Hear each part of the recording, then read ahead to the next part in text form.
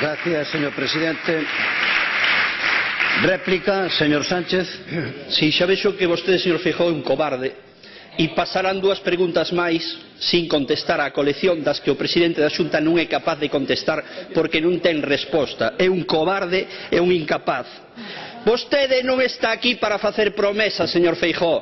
Leva dúas legislaturas o que se lle pregunte o balance das súas políticas xa feitas. As súas promesas non valen nada. As promesas xa as fixo en 2009 e 2012 e xa vemos a realidade. As súas promesas non valen nada. Non ten credibilidade, señor Feijóo. É como aquel conductor que vai pola autopista en dirección contraria e di que son os demais os que van en dirección contraria. É o único que non ve a situación desesperada dos gandeiros e do rural galego, señor Feijóo a súa palabra non vale nada e non frivolice non frivolice cando fala destas situacións e non empece a falar de Podemos e de Pablo Iglesias.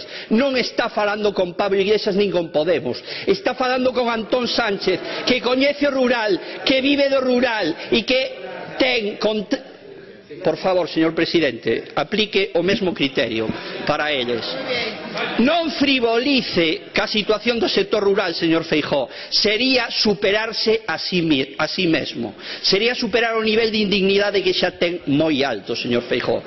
Non frivolice e conteste o que se lle pregunta. Dígame un dato no que o rural galego e o agro este mellor que cando vostede chegou.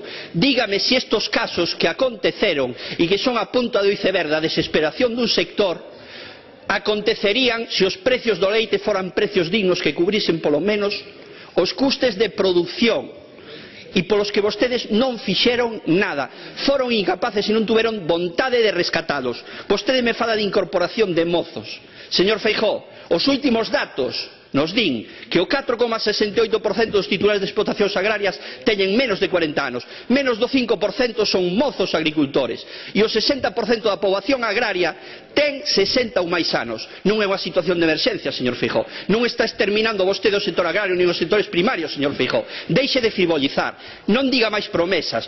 Fale do seu balance que o que lle toca agora vostede non acaba de chegar e as súas promesas Mate, non favor. valen nada señor feijóo. Non lle permito que frivolice con estos casos dramáticos de xente que está sufrindo pola súa incapacidade cando eles fixeron os deberes e vostedes deixáronos na estacada moitas gracias.